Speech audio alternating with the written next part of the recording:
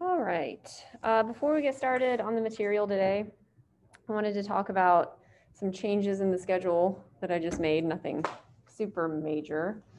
Um, first off, I moved, so the exam, I've updated it already on Canvas here, but I moved the exam from a week from today, so basically back a day. So it was supposed to be here, and then I shifted it back to that Friday. Um, just in the interest of giving a little bit more time again between ending this unit and actually taking the exam, so you guys have some more time to study and kind of internalize the information. Um, and we're making, yeah, the progress we're making is fine. I mean, I think that's, that makes perfect sense. I just kind of switch these two days. We'll do some review for exam four, along with getting into that last chapter that we're doing on um, the 28th of April. I just put the study guide up for the exam, so you have a week and a half with that. That is on Canvas. Um, and then, oh yeah, so I've had some questions about the final. Um, it is cumulative, so there will be mostly old information. The only chapter that's not on this last exam is chapter 15, the autonomic nervous system. So that's the only new material that'll be on, um, on the final exam. It's cumulative, it's in person, so we'll be taking it in the bio labs upstairs on May 10th at 10 a.m. I'll have a study guide for you guys for that, so I can hopefully narrow down a little bit more because uh, we've covered a lot of material, kind of narrow down what you should be focusing on studying. Along with that, so this day, the 5th of May, the last day of class, I have set aside for review for final. I think what I'm going to do that day is just bring all of your um, old exams. So I don't let you hold on to your exams. I'll bring them all so you can look through them. If you want to look at some questions you missed, um, I'll be pulling some questions off the old exams to make the final. And then we can also do, we, I can answer any questions you guys have about material on the final. Um, or if, if there's none of that and we have enough time, I'll do some kind of little like review quiz. So May 5th um, in class, so you guys, let's see, where are we here? So you guys will be in person that week again, the people who are here. So you guys on Zoom, normally you'd be on Zoom for May 5th. Um, if you want to come in and see your exams, come in on May 5th and we'll meet elsewhere. I'll talk about that in the future so you can actually see your exams before you take the final. Okay, so that deals with our last exam, the final. Um, and that gets us through the end of the semester. Any questions about those changes? Yes.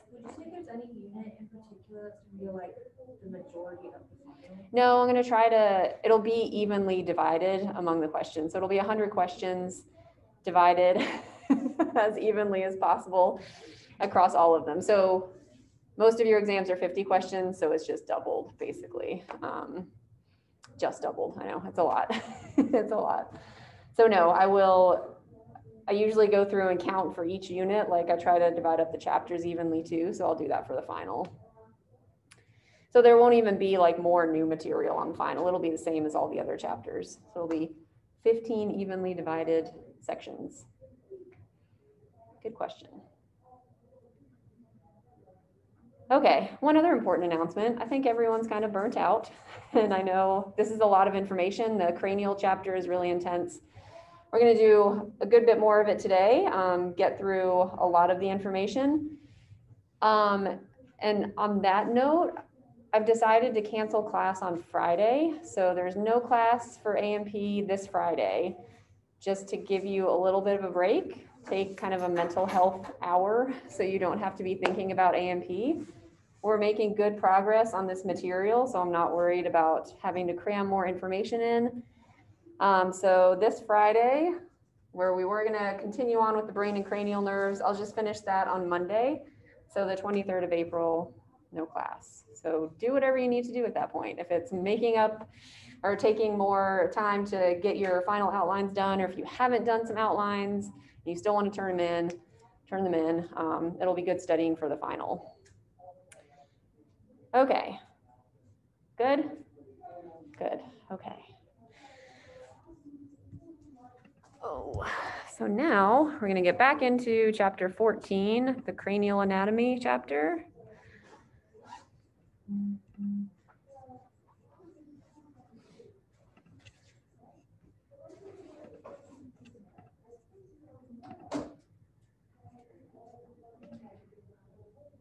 All right.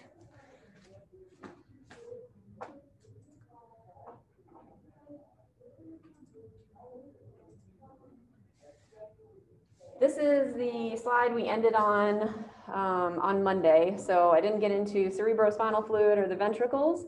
So we'll start there today. Sure you guys can see.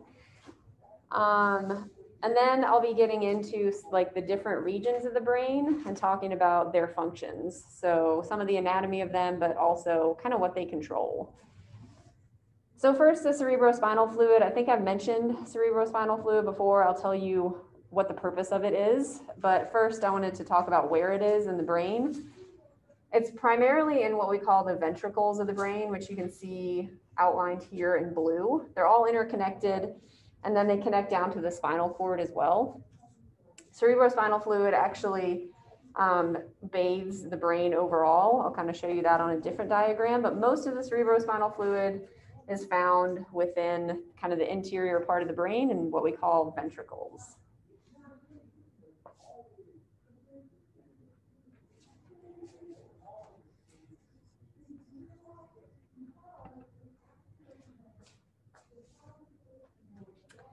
Um, at the bottom of each of those ventricles, there's something called the choroid plexus, which is basically just a bunch of capillaries or blood vessels.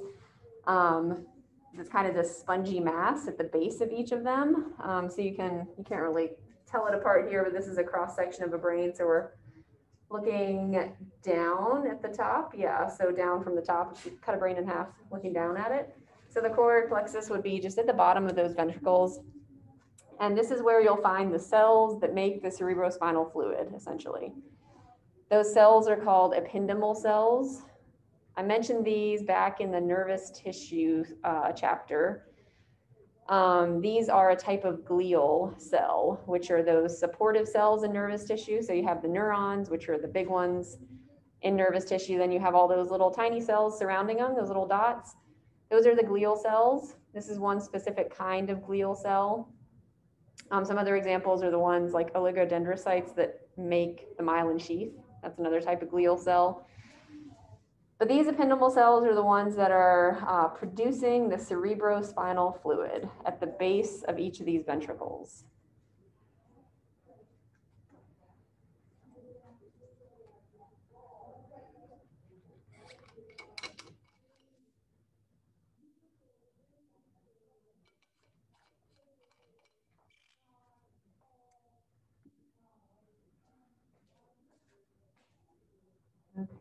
Ependymal cells. Um, so then what is cerebrospinal fluid? It's basically just this clear, colorless um, liquid that surrounds the brain and then also bathes the spinal cord. So the entire central nervous system is bathed in this cerebrospinal fluid.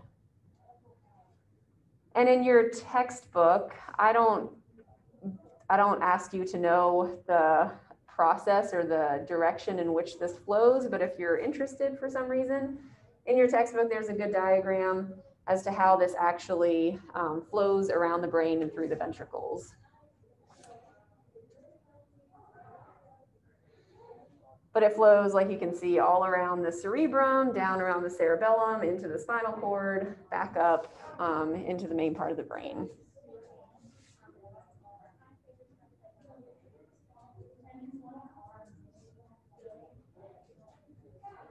Okay.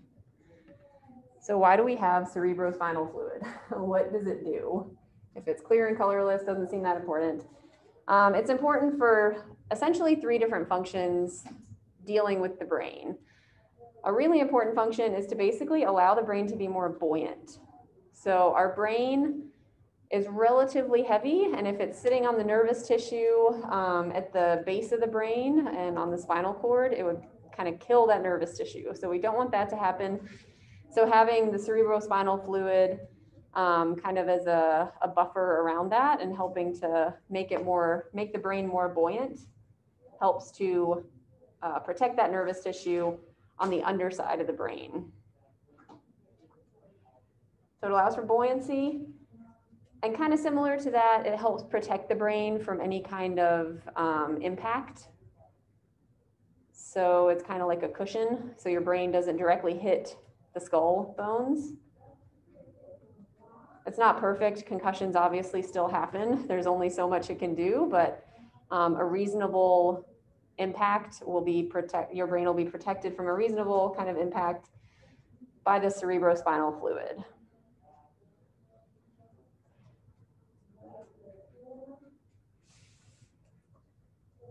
And then finally, it's important, as you probably imagined, in balancing chemicals in the brain. So there's chemicals moving from the cerebrospinal fluid into the brain tissue and vice versa, taking metabolic waste away, bringing in new nutrients to that nervous tissue in the brain.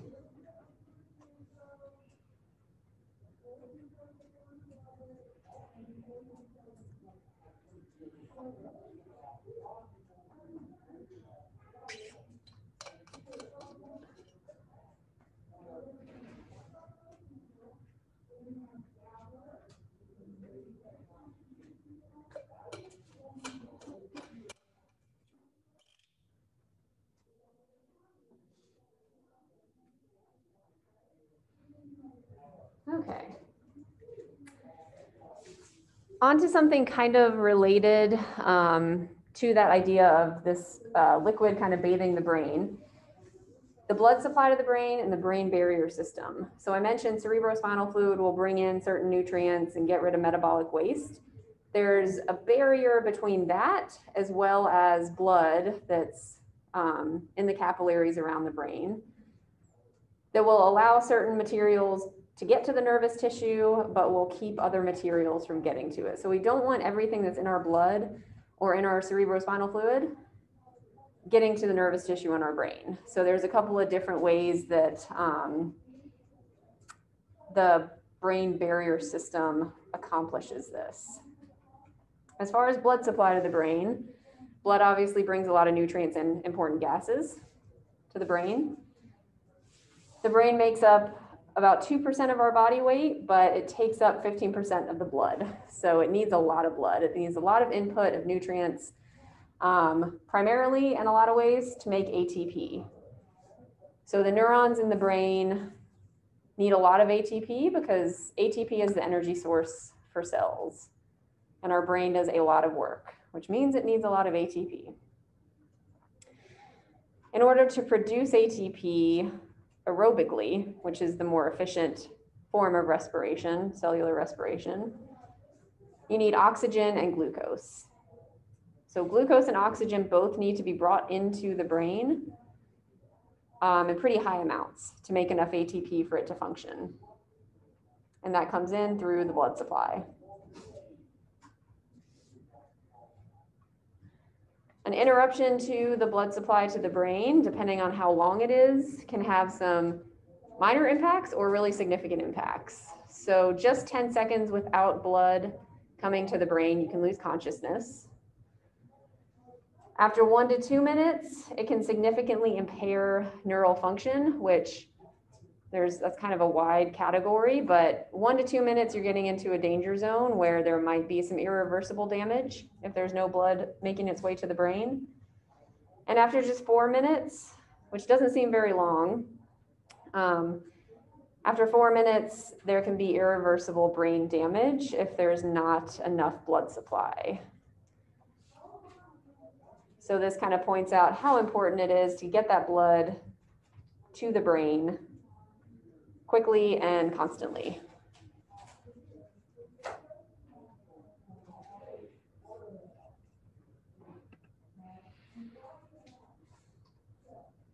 So what is this brain barrier system? What are we trying to block out? Um, I'm not going to go into too much detail about the specific ions and chemicals that are blocked out, uh, but I'll kind of talk about how it works. So the brain barrier system is regulating what gets from the bloodstream into the tissue of the brain. Hence the name barrier. It's a barrier between what's flowing through our blood and our veins and our brain tissue. essentially balancing the chemicals and the ions that are necessary for the brain to function. Too much or too little of anything in our body is pretty much not a good thing, and the same goes for our brain. So, uh, the brain barrier system is how our body controls those that balance of chemicals and ions. There's a couple different places where this brain barrier system um, is most active. Blood capillaries are found throughout the brain tissue. So all of the brain tissue is innervated by all these capillaries. So materials can move from those capillaries to the brain tissue. That's one area where the brain barrier system is engaged, and I'll show you kind of what that looks like. And then the capillaries of the choroid plexus, which I just talked about, that's that spongy mass of capillaries that's at the base of the ventricles. So those internal chambers in the brain, at the base of that, there's a lot of capillaries. So that's a really important area for the brain barrier system to work as well, or blood, yeah, brain barrier system, sorry.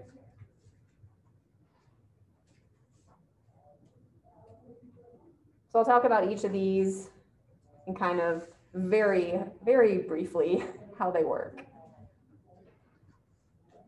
First, the blood-brain barrier. Um, the blood-brain brain barrier is what can, um, protects the nervous tissue uh, where you have all of that innervation, or sorry, um, vascularization of capillaries throughout the brain.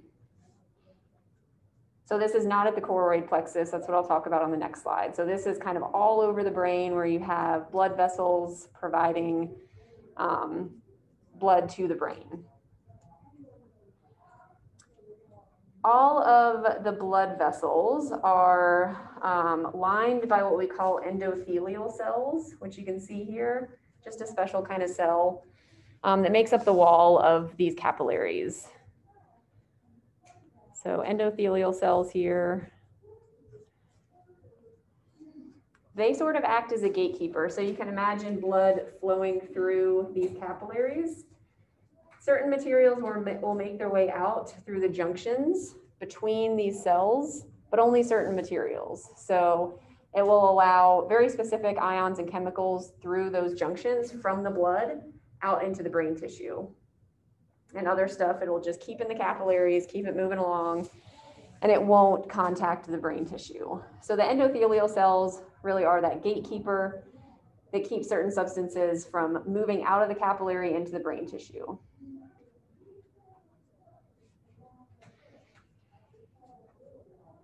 It's really easy to confuse endothelial with ependymal because of, well, they're weird words and they both start with an E. Um, so try to keep those straight in your head. Endothelial cells are lining the capillaries and creating this blood-brain barrier. Ependymal cells are the ones that are creating the cerebrospinal fluid.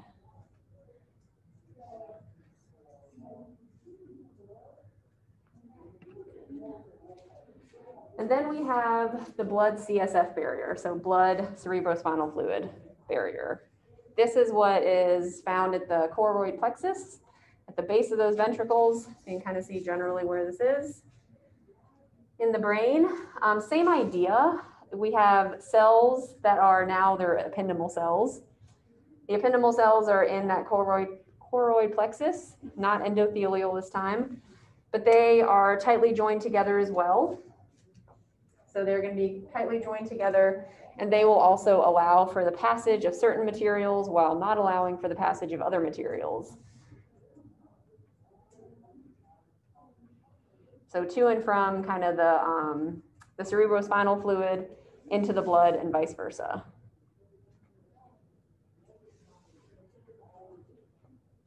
So that's the blood CSF barrier. So you have blood brain and blood CSF, just two generally different locations.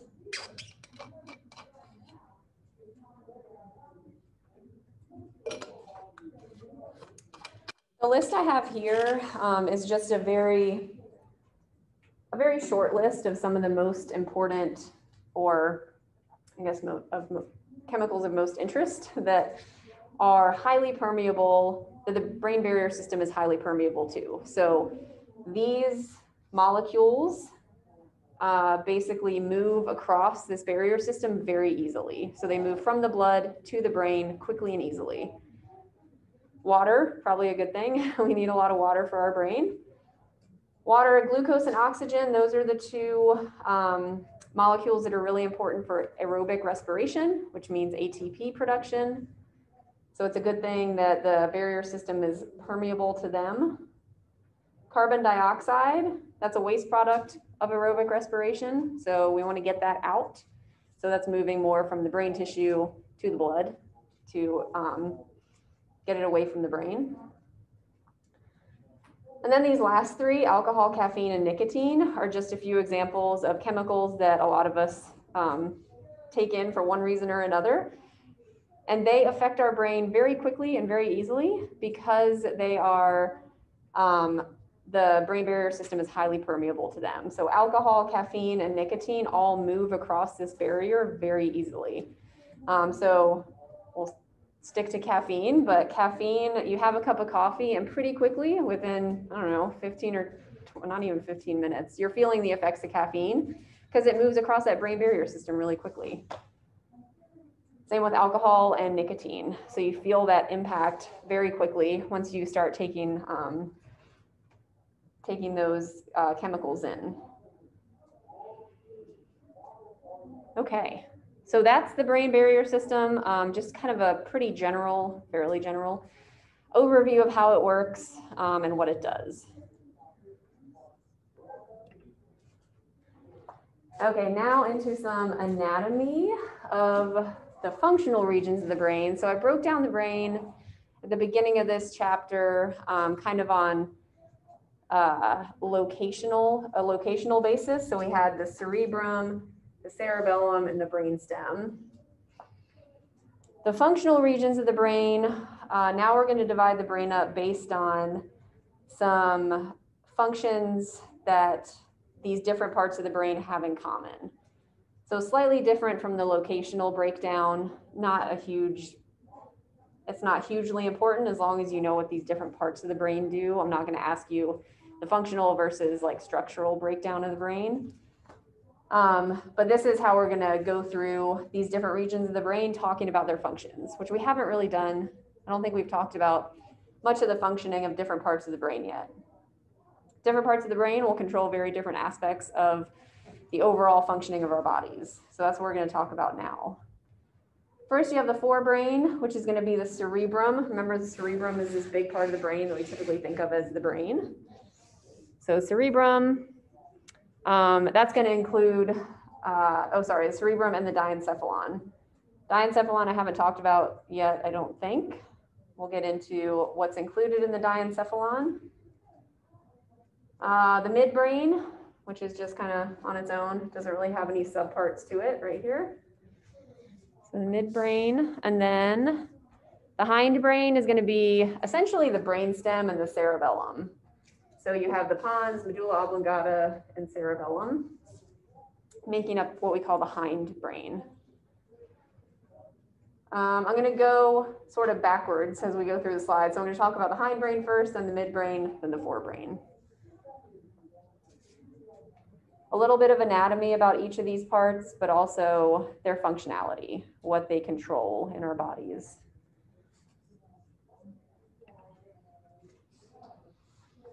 Okay, so first, down at the very bottom of what we consider the brain, the medulla oblongata. Down here, it's a little bit wider than the spinal cord, but the spinal cord comes out right at the bottom of it. So it's directly connected to the spinal cord. Um, it, everything that comes from the spinal cord has to go up through the medulla. Everything that goes towards the spinal cord from the brain has to go through the medulla. All right.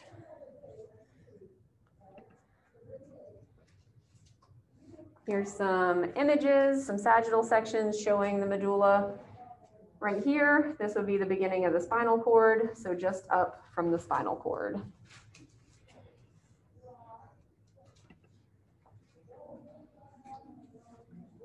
Like I said, all of the information that's being sent from the spinal cord up to the brain or brain down to the spinal cord and then out to the peripheral nervous system has to go through the medulla. It's kind of the gatekeeper. I know I keep using that term, but everything has to go through that to get to the brain.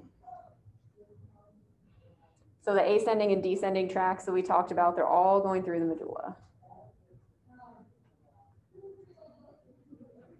Important functional centers that are found here in the medulla.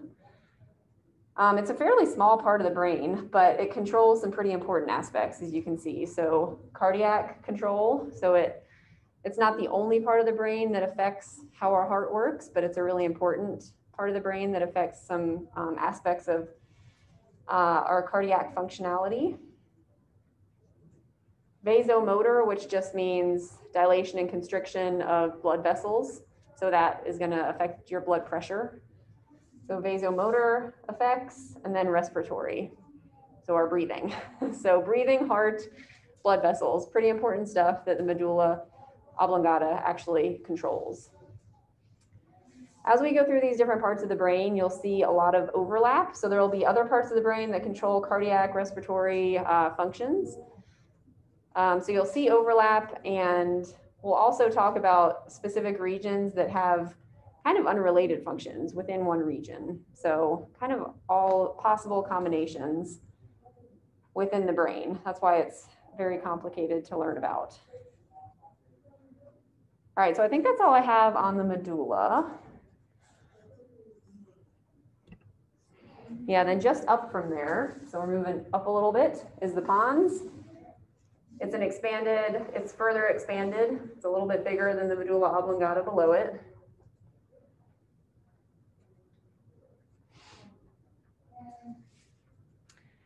Um, it is, some of its functions include regulation of sleep, respiration again. So medulla and the pons deal with respiration and then posture. So like I said, some of these functions, even though it's just within this one kind of small part of the brain, deals the functions don't really seem linked at all. Posture, sleep, and respiration.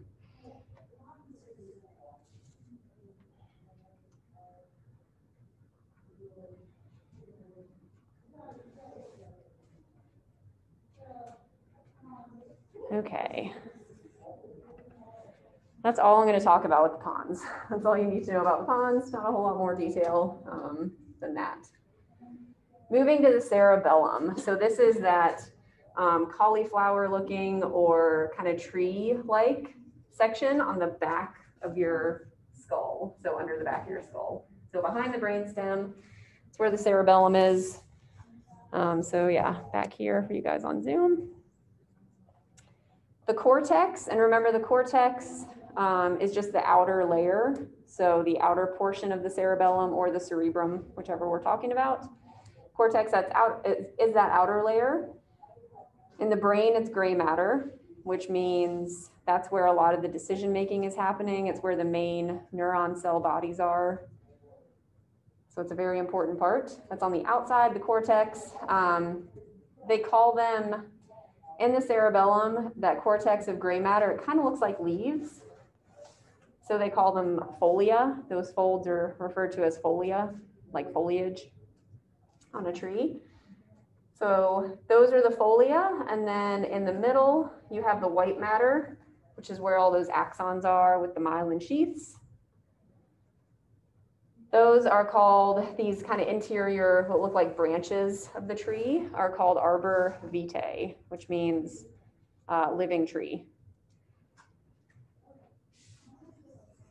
So here you have the arbor vitae, those branches, white branches. So I think just in the cerebellum, the gray matter and the white matter get those special names, the folia and the arbor vitae. As a reminder, this is the part of the brain, it's not very big, but it contains about 50% of the neurons in the brain. So it's a really important part of the brain. Um, and that adds up to 100 billion neurons just in the cerebellum.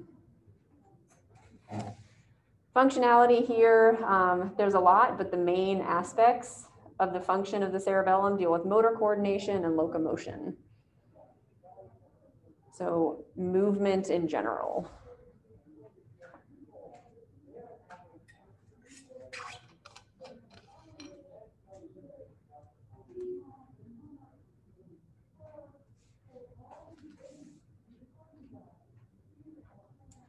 Here are some more um, different views on an actual brain of the cerebellum. So you can see it's fairly small, especially compared to the cerebrum. Um, right at the back, right behind the brainstem. And it has that different texture. So it has these really fine lines compared to the cerebrum, which has those bigger, thicker folds. So here's the cerebellum. And this is looking from underneath the brain, so looking kind of up at the bottom of the brain. And you can see the cerebellum is divided into two halves, just like the cerebrum is. So cerebellum. You'll see this view of the brain from underneath when we talk about the cranial nerves. So these are all cranial nerves coming off of here. We won't get to that till Monday. You'll see that view of the brain plenty coming up. Okay.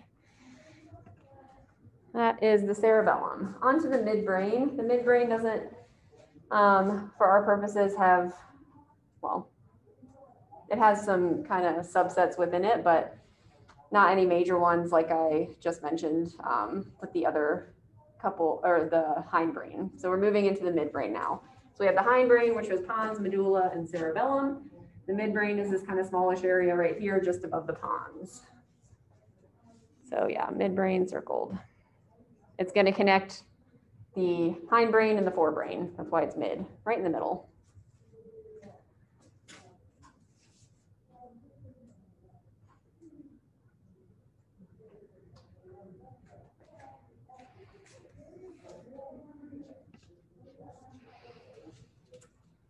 It is a small area, but it's kind of complicated as far as the anatomy goes. So there's there's four bulges basically at the top. So if we're looking over here, this is going to be the midbrain area. Below here we have the pons and the medulla oblongata. This is going to be our midbrain, and there's these four kind of nodules sticking off of it. So for you guys on Zoom, here we're looking at the midbrain and those four bulges or nodules are called the corpora quadrigemina. The upper pair of those have different functions or control different functions than the lower pairs. So you have the, what we call the superior colliculi. So the two pairs are divided into superior and inferior colliculi. So the two on top are the superior on bottom, obviously the inferior colliculi, and they have very different functions, or they control very different functions, I should say, of our, of our body. The superior colliculi are important in a lot of visual aspects. Um, so visual attention as well as like tracking moving objects. So being able to follow a moving object is controlled here in the superior colliculi of the midbrain, and then some reflexes also. The inferior colliculi are sort of um, receiving information from the inner ear. And remember, the inner ear is really important in balance. So this helps to keep us upright and balanced. So visual versus balance, basically, the superior versus inferior colliculi.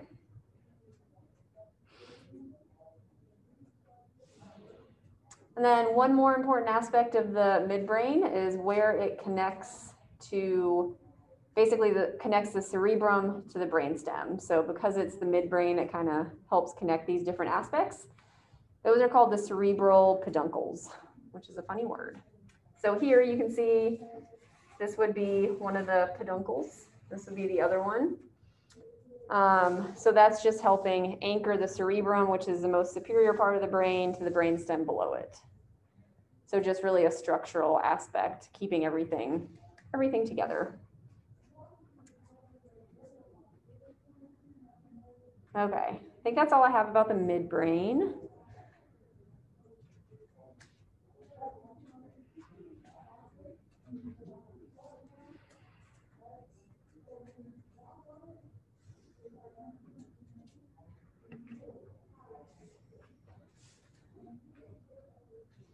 And next I want to talk about something called the reticular formation before we move on to the forebrain. So the reticular formation is not a specific part of the brain. It's really just this, It's an interconnected network of neurons that reach throughout all parts of the brain and basically send information from say the hindbrain to the forebrain or the midbrain to the hindbrain, et cetera. So technically it's a web of gray matter. So gray matter is making a lot of those decisions, sending more information kind of out to the edges or back down to the spinal cord. Um, so there's a lot of connections between the different parts of the brain through this reticular formation. And I'll talk about the specific aspects of our functioning that is that are controlled by the reticular formation. But just think of it as this network, network of connected nervous tissue.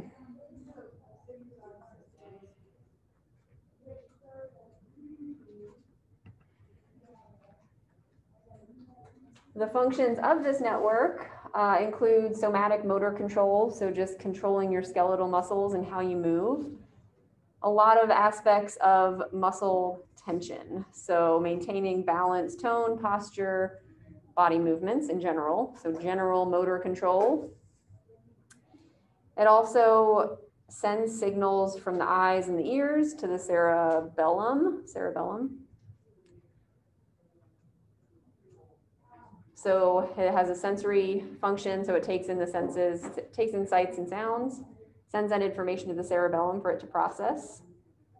And then kind of similar to the first bullet point, motor coordination. So not just being able to move, but being able to move in a coordinated way.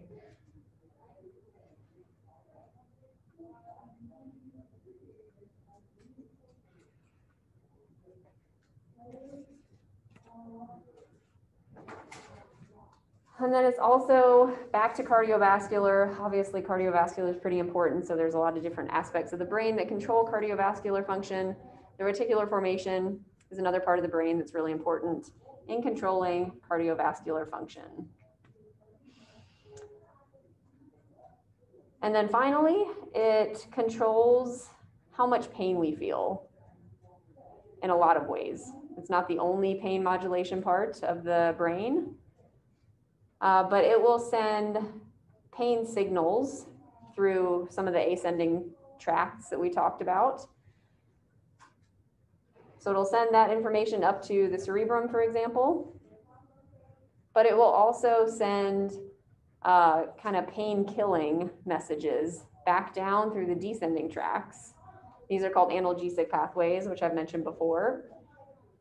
So these will block pain signals. Sometimes pain isn't helpful to us. Um, so our body will kind of tamp down the pain signals that are being sent um, back out and block that pain. So pain modulation is a really important part of the reticular formation.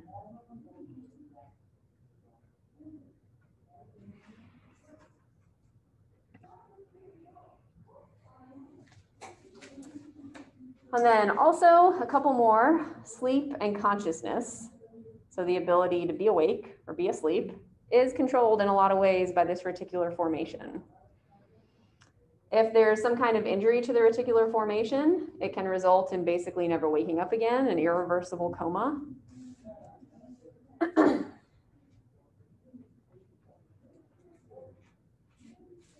then the last category I have here, habituation. This just means getting used to the many, many, many stimuli that are basically bombarding our senses uh, throughout the day or night.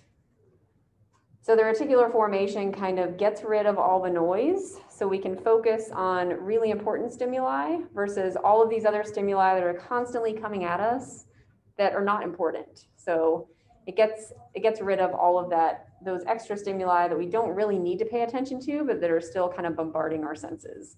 That's what the habituation function of the reticular formation has to do with.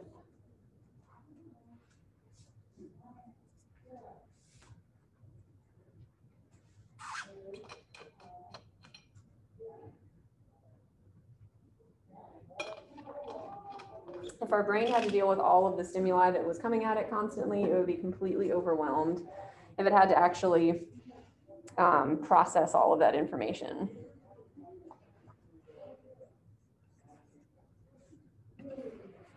Okay, so that's the reticular formation. On to the last functional part of the brain, the forebrain. So now we're talking about most of the volume of the brain in the cerebrum. So the cerebrum is this most superior part of the brain. And then we also include something called the diencephalon in this forebrain. It has some similar functions to the cerebrum, so we group them together. And that's kind of right here, right in the middle, kind of middle lower part of the cerebrum area.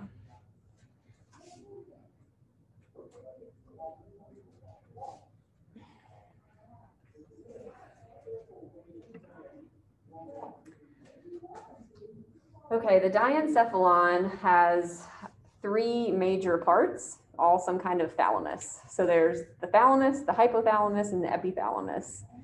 Those are what make up the diencephalon. These are really important in um, a lot of endocrine functions. So uh, I'll talk about this when I get to the hypothalamus in particular, but very important in controlling the release of hormones. So the endocrine system and the nervous system are very closely linked.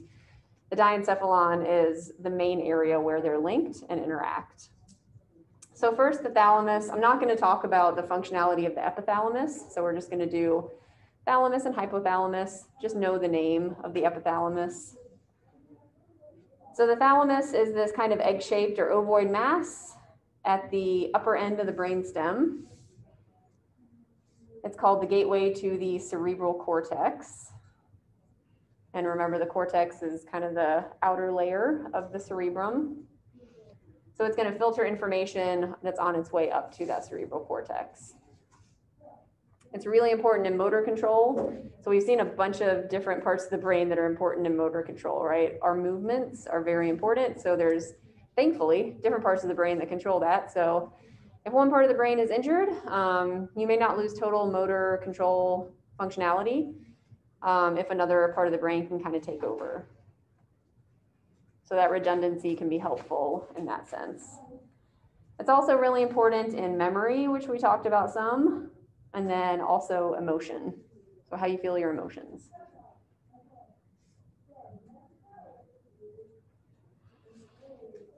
Okay, on the next couple slides, I'm going to talk about, oh no, wait, sorry, we were talking about the thalamus. I'm going to talk about the hypothalamus um, after I show you an image here, kind of where they are. So we're talking right below the cerebrum here, the thalamus, that it's kind of egg-shaped, like I said, little egg-shaped. The hypothalamus, hypo means below, so it's kind of below and in front of the thalamus. So here would be the thalamus. And then the hypothalamus is here in orange. So yeah, thalamus is that egg-shaped thing in the center, and then the hypothalamus is kind of just below it and anterior. The hypothalamus um, is the part that's particularly linked to the endocrine system. So it has a lot of functionality over controlling our autonomic nervous system, which I haven't gotten into, uh, but it's the unconscious part of our nervous system that regulates a lot of our bodily functions that we don't have to think about. So here now the brain is flipped. So this is the anterior portion. So the hypothalamus would be right here. And then here's the thalamus.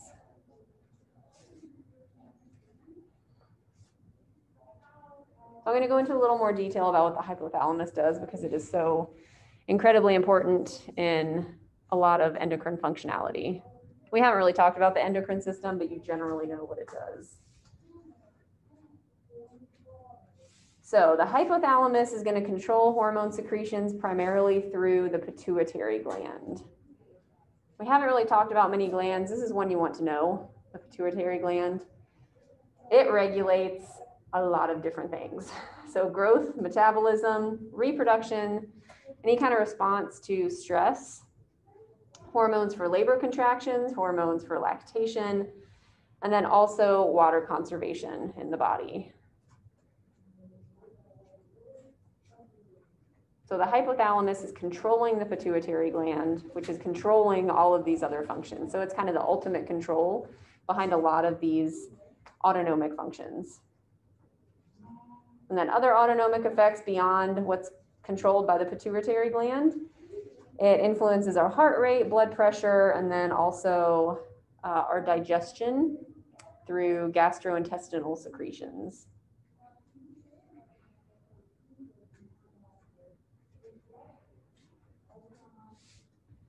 It helps regulate your body temperature, your hunger. So if you don't realize when you're hungry or don't realize when you're full, maybe your hypothalamus is to blame. So food and water intake is regulated by the hypothalamus. And then sleep, which I'll talk about um, probably yeah, on Monday. Memory and emotional behavior. So, so many different functions that the hypothalamus actually controls. This one small part of the brain has really wide reaching effects.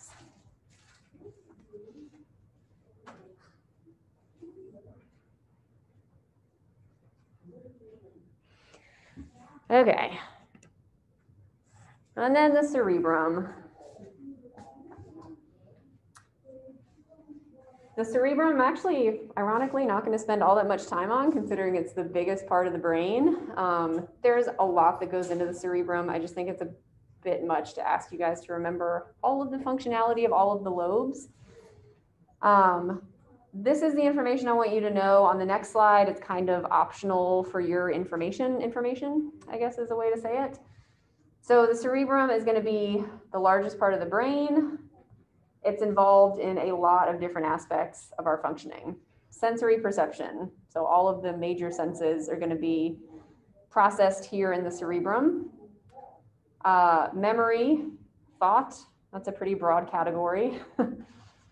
Judgment, so making good decisions versus bad decisions, that's controlled in the cerebrum. And then again, voluntary motor actions. So more motor control functionality here in the cerebrum. I've talked about the two hemispheres at the beginning of this chapter, but there's the right and left cerebral hemisphere. It's divided, those are divided by the longitudinal fissure. Now each hemisphere has five lobes within it. We'll talk about these lobes and I'll have you identify where they are generally in lab. And here, like I said, the next slide, this is really what I want you to know about the cerebrum. Um, for lecture, yeah, for lecture, that's all you need to know. This is, it's interesting to think about all of the different functions of the cerebrum. Each lobe has a lot of different functions, but they're kind of separated. Some of them overlap. Uh, some of them are unique to one lobe, but here is an outline of essentially what different functions are controlled by different parts of the cerebrum. So you have these five different lobes, mostly named for the bone that they're under. So frontal, parietal, occipital, that should all look pretty familiar. Um, so your decision making, so any decisions you make, emotional control, that's all controlled by the frontal lobe. Um, the parietal lobe has a lot of uh, sensory information intake. The occipital lobe is really important in vision. So the back side of your head is really important in any kind of visual processing. Uh, the temporal lobe can be really important in uh, verbal language skills, that kind of thing. So it's interesting. It's just a lot of information, and I think you guys have enough to deal with without knowing this, but it's there for your information if you want it. And then we'll stop there today and finish up on Monday. So remember, no class Friday, and I'll see you on Monday.